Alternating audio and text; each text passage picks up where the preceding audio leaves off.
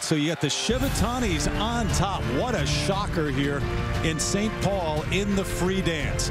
Not that they haven't been there before. They've had their opportunities, but it would be gold for the first time. Chock and Bates, the defending champs, will see where third place ends up.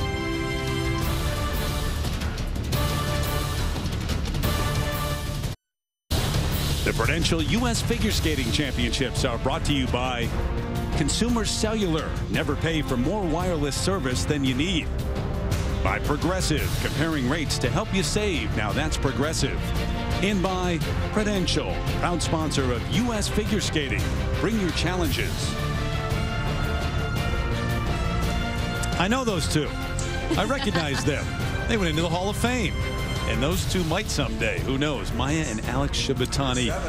Just a formality, you got to believe, as Hubbell and Donohue wait for their numbers 107.71. So it is third place with that number, and Hubbell and Donohue able to capture the bronze medal once again. But the hug from your sister, from your brother, your gold medalist for the first time.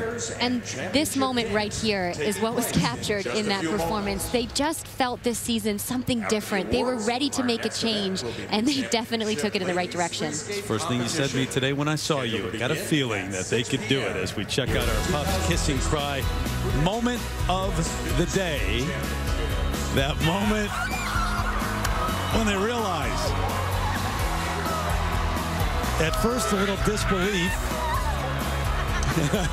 Marina Zueva, longtime coach for so many great skaters. Our Puffs Kiss and Cry moment of the day, and they are with Andrea now.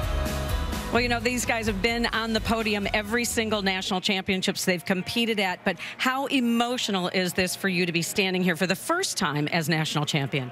It's an absolute dream come true for us. We've been working extremely hard. We've been on quite the journey, and we're really looking forward to continuing to work hard towards the next Olympics.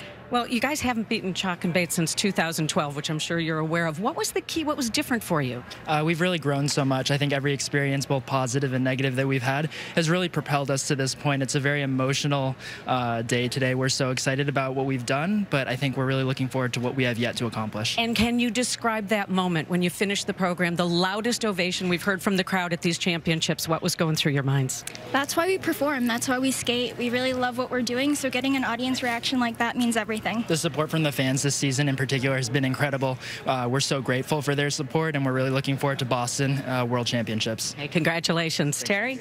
Really have two, not one team that could win a world title. Andrew, when you look at it, great time for American ice dance.